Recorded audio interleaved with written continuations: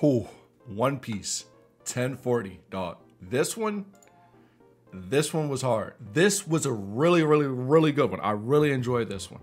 And like I said to like everybody that I've been talking to, Big Mom is not done because after every single last fight that Oda is drawn out, they said the winner is clearly this and the loser is this, like in a little square box. And this happened today. Big Mom is done. Wasted words on young ears. This, this, this title, this title has little bit of weight because we saw Big Mom really like saying some some funky stuff, of talking like a monologue of her talking to Roger, thinking about like, dog, why are you doing all this? You got these young bulls coming after us. Why did you why did you do this? It's kind of like her last words, but we know she's not I don't think Big Mom is done done. I think she's like not for right now, but like I don't think she's done done. But anyway, she's she's like talking to Roger like retrospectively like, "Dog, why did you say all this stuff?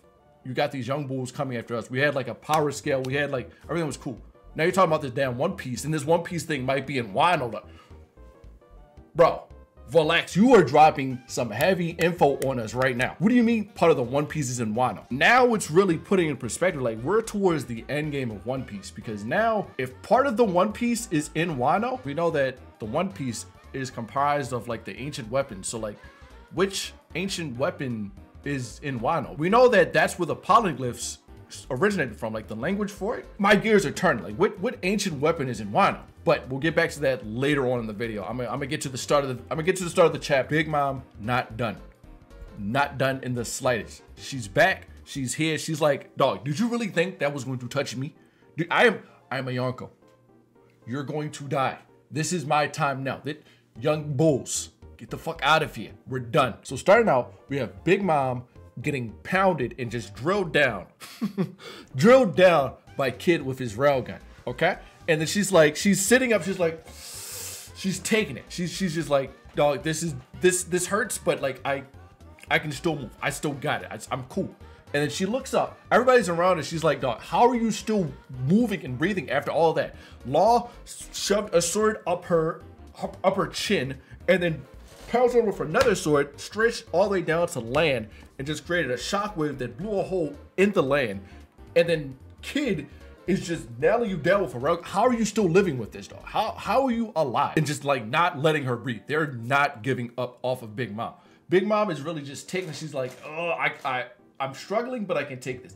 Everybody around them, all of Law's teammates, all of Law's crew, all of Kid's crew, they're like, dog, y'all need to get out of here because she is about she is about to pop off. She's about to do something crazy. I don't know how I don't know what this thing is, but she is still withstanding every single attack that you've thrown at her for the past five minutes, and these were heavy hitting attacks. These were awakening level attacks.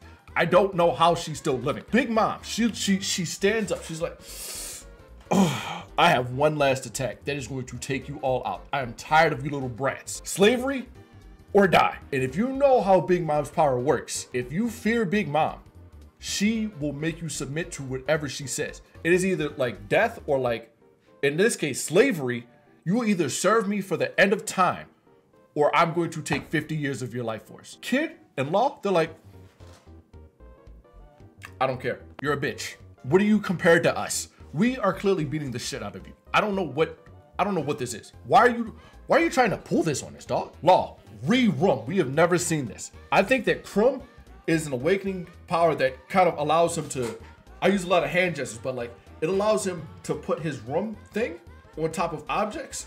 And then regular Room is like an area of, of Room that he does his operations on. And then re-rum can put it around a specific person because that's what we see him do here.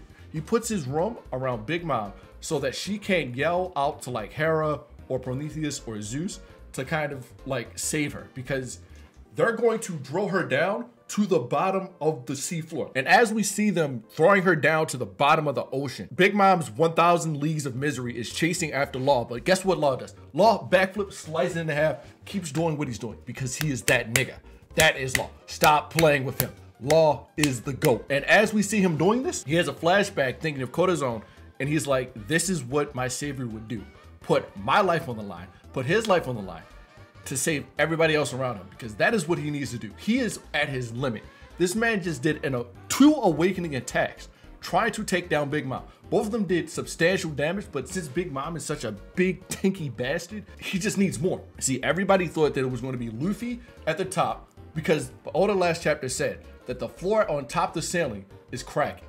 Luffy is about to punch the shit out of Kaido into the floor on top of Big Mom all the way down, hitting the bombs and all that. That's not exactly what happened. And as Big Mom is falling, we can see that she is trying to grab on to everything for dear life and she's hitting bombs, okay? Yamato's like, bro, what is this? What what is going on? Where are you where did you come from? And while she's grabbing around, she claws one of the bombs. Yamato shields it off. And I forget his name because I'm so pissed off at him. But the dude that does the drawings, his little fire gas spirit thing just got obliterated because it's ice. Yamato makes ice. And with the bomb, psh, melts the ice, the water gets splashed onto the little fire creature thing, and that's how that's how his power works. Like if the water gets onto it, it's done. So I'm pretty sure our little fire spirit thing is taken care of. So even though Big Mom did hit one of the bombs, that did have a huge impact because now the like the entire bottom right half of the island is just chunked. It's gone. Dunzo.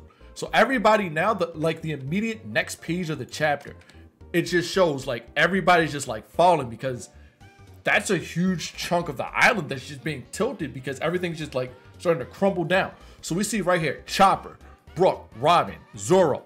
And notice right here, Zoro, at first, like the last chapter, he was like looking up, like he was he was facing up. So that was not actually Brook because Brook is right there next to Robin. This nigga met death. He faced death. He he met some creature and that creature had his way with him. And I don't I don't know what's gonna happen to Zoro now because the panel immediately after that, Zoro is falling down. And he is lifeless. He is motionless. You can see blood just splattered around. He is. I'm scared for my boy. You, you see, I, you see, I got the Zoro drip on right now. I am scared for my boy. Immediately after that, we have Otoichi and Kozumi. Kozumi's still in there, just playing the little little guitar, playing the guitar. And I think that Raizo and his other dude, they're done. So we're finally done with that. And as Big Mom is falling down, she's having these words. She's like, Roger, why'd you say that? Why'd you talk about this One Piece? Why are you getting these young bulls riled up? Try to take everybody else down, try to get this power scale thing out of whack. We had a good thing going on. Why, why are you doing this? This this One Piece thing better be real. Why did you say that? You, you're about to die. You're doing this on your deathbed. This has no impact on you. So why are you making this hell for the rest of us Yonko? What are you doing this for? Part of the One Piece is in Wano. One of the ancient weapons is in Wano. Which one? Truly, I don't know. we have confirmation that Big Mom is done because we see the boxes right here and a big ass explosion like right outside the flower capital. I did not notice that that is right outside the flower capital on first read. Like now looking at it like that, it's right, it's right there. That means that Momonosuke didn't push it back that much after all because it's like, that's like a couple yards. Like that shit is close, dude. Oh my god. Immediately after that, we have Kid Law, they're worn out. Their their whole crew's like, yo, you did it. You you got rid of a Yonko. All good. It's like a celebration. Like, we're cool, we're cool. Everything is starting to calm down a little bit. Like just a smidge. We still got Luffy and Kaido at the top, but everybody else's battles are like done and out the way, I'm pretty sure. If I'm remembering correctly. Everything else is cool. Now we just have loose ends with Momonosuke and Yamato trying to get the rest of the bombs out of here and like kind of like de-escalate everything. The last words of this chapter. Momonosuke says, yo, Yamato, I need you here. We need to be here. I need to tell you something real quick. Zunisha is on its way. This was this was Joy Boy's partner in crime. Twitter, partner in crime. They were like this 800 years ago. I think that that puts further proof onto the devil fruit that the Gorosei we're talking about was the one that Joy Boy also had. And if you guys have seen the little theory that Ohara put up, he's saying that devil fruits carry a will on their own.